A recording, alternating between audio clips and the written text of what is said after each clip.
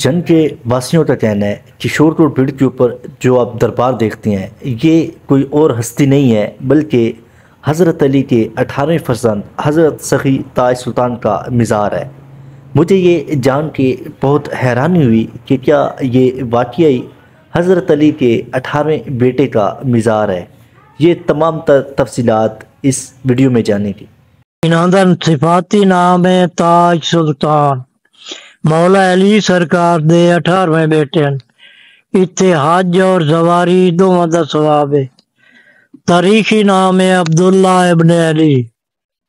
ये सरकार जंग दयान उस वक्त यहूदियों की शाही आई। साइया फरमाया, भी कलमा पढ़ लो जिन्ना पढ़ लियो बच गए। बाकी जरा बादशाह यो साइया ना तकलीफ़ देवनी शुरू की साई से जगह ते बह के उंगली का इशारा दिता है। हेठ समंदर तो पट के अं पुठा कर छोड़िया वो हर शह विचे घर कोई पई है। सौ बादशाह दे सिक्के मिले नापो आप भैया फलानी बादशाह फलानी बादशाह नाजिल ग्रामी दरबार के अंदर मुतवली तो मौजूद नहीं है, लेकिन मैंने ये सोचा कि आपको दरबार का विज़िट करवाते हैं और जितनी मालूम मैंने कोशिश की थी कि यहाँ से इकट्ठी करेंगे, लेकिन उतनी नहीं मिल सकी थी। खैर इसके बाद हम कोशिश करेंगे कि आपको एक और वीडियो बना के देंगे, जिसमें दरबार की जो है मुकम्मल वीडियो होगी। यहाँ पे ये तख्त लगा हुआ है, तख्ती है। जिसके नीचे लिखा हुआ है कि हज़रत अली के जो अठारहवें फर्जंद हैं हज़रत सफ़ी ताज सुल्तान साहब उनका जो उर्स मुबारक है वो बारह तेरह और चौदह रजब को होता है। ये आप नीचे अगर देखेंगे ये तकिए रखे हुए हैं और नीचे इसकी ये डेट लिखी हुई है। बारह तेरह और चौदह रजब को इसका जो है उर्स है वो यहाँ पे लगता है। तो यहाँ पे जो इनके मुरीदैन है जिन जिनको पता है आ, वैसे तो इस दरबार का खासन ज़्यादा किसी को भी नहीं पता होता इतना।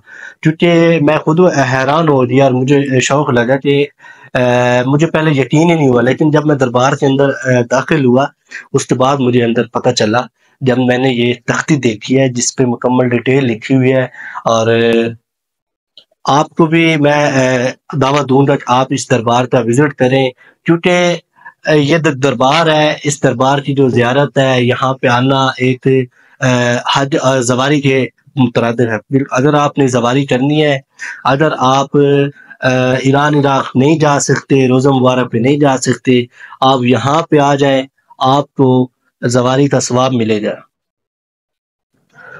ये झूले पड़े हैं, आप देख सकते हैं, यहाँ पे ये निमक भी रखा हुआ है उन्होंने, ये तरह तरह के, ये जो तकियाँ हैं, वो भी यहाँ पे पड़े हैं। यहाँ भी जो औरतें खातन आती हैं, यहाँ पे ये देखी चूड़ियाँ लटकी हुई हैं मुख्तलिफ़ किस्म की।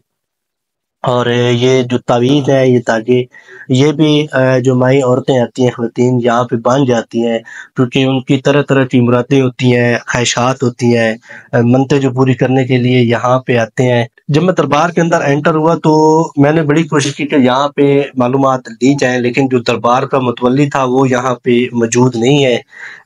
खैर मैंने सोचा आपको चलो दरबार का जो विज़िट है वो करवाते हैं और ये यहाँ पे चूल्हे यहाँ पे पड़े हैं, यहाँ पे ये तकिए उन्होंने रखे हुए हैं और बाहर भी आपको दिखाएँगे कि भीड़ के अंदर जो पुराने बर्तन होते हैं, मटके होते हैं, वो मिलते हैं और तकरीबन दस हज़ार साल कबल मसीह, इसकी जो हिस्ट्री है, इतनी पुरानी है।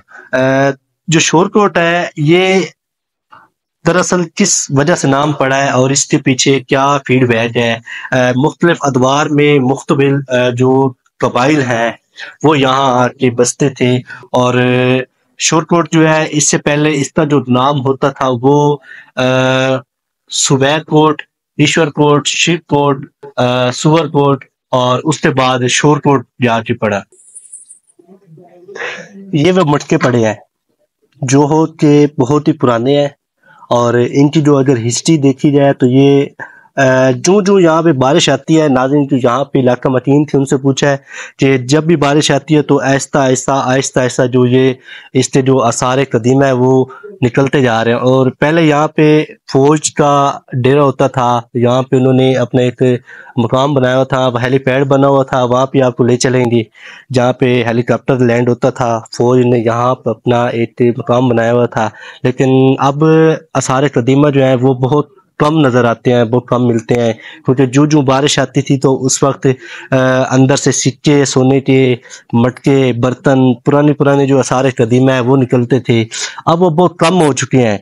तो ये जो भीड़ है, ये काफ़ी बड़े रकबे पे फैला हुआ था। यहाँ पे एक वलीउल्लाह का अजाब आया था, जिनको मैंने आपको तारफ़ कराया, हज़रत अली के अठारहवें बेटे।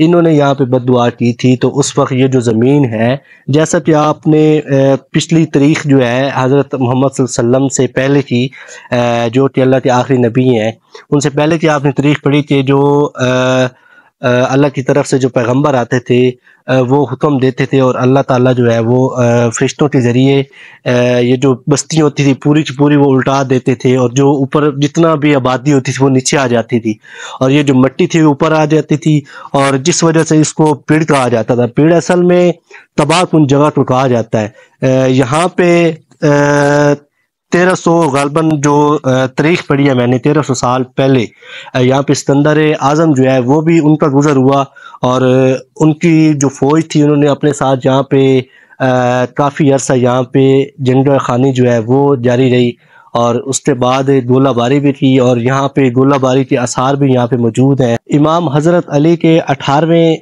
फरजंद, अठारहवें बेटे सैयद सखी ताज सुल्तान साहब, उनके दरबार के अंदर ये कुछ पुराने दख्त मौजूद हैं और जिनके ऊपर आप देख सकते हैं कि ये तरह तरह के जो तवीज़ है, ये ताजे जो हैं, ये यहाँ पे बंधे हुए हैं और लोग अपनी तरह तरह की ख्वाहिशात, जज्बात, जो भी मनती होती हैं, वो लेके आते हैं और यहाँ पे पूरा करने के लिए।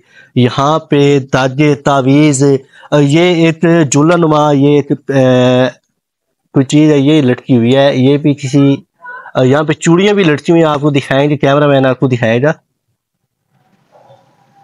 ये देखें, ये तकरीबन दर्जनों के हिसाब से ये चूड़ियाँ जो है, ये यहाँ पे लटकी हुई हैं और औरतें जो होती हैं ख़वान जो होती हैं, वो यहाँ आके अपनी मनतें जो होती हैं, वो पूरी करने के लिए यहाँ पे बाँध जाती हैं। तरह तरह की जो उनकी ख्वाहिशात होती हैं, उनकी जो मुरादें होती हैं, वो पूरी करने के लिए यहाँ पे आके तवीज़ बाँध जाते हैं और ये दरख्त यकीनन बहुत पुराना है। जितना दरबार पुराना है, उतना ही मेरे ख्याल में ये दरख्त भी पुराना है, क्योंकि इसकी जो आप बनावट देखेंगे, इसकी जो आप अगर आप तारीख देखेंगे तो उससे ज़ाहिर होता है कि ये काफ़ी पुराना है। और ये जो जगह है, ये दस हज़ार साल कबल मसीह की है।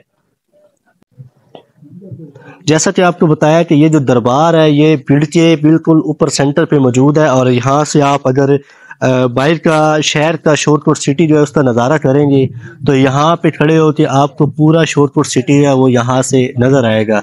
अगर आप चाहते हैं कि आपने शोरपुर सिटी जो है उसका मुकम्मल नज़ारा करना है तो आप शोरपुर पीढ़ के ऊपर तशरीफ़ लाएँ और यहाँ से आप देख के आपको किसी ड्रोन की, किसी कैमरे की ज़रूरत नहीं पड़ेगी।